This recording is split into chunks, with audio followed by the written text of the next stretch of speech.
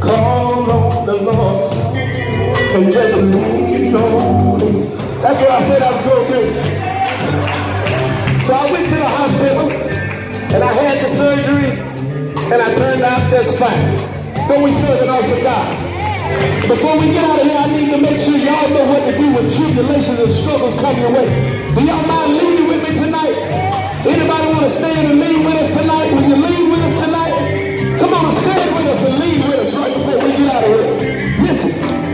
Next time, the next time you're having problems in your life, problems in your life, you cried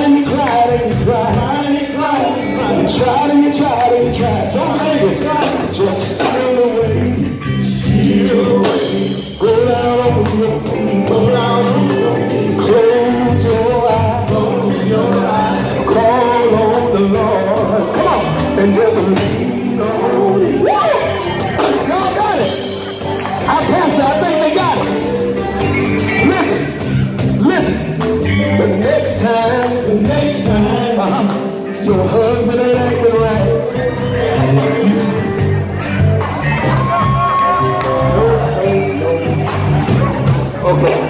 The next time, the next time, your spouse don't right. Your spouse don't right. You cried and you cried and you cried. Cried and you cried and cried. You tried and you tried and you tried. Don't get angry, this right. Just steal away, steal away. Go down on your knees, go down on your knees. Close your eyes, close your eyes. Call on the Lord. Come on, and just lean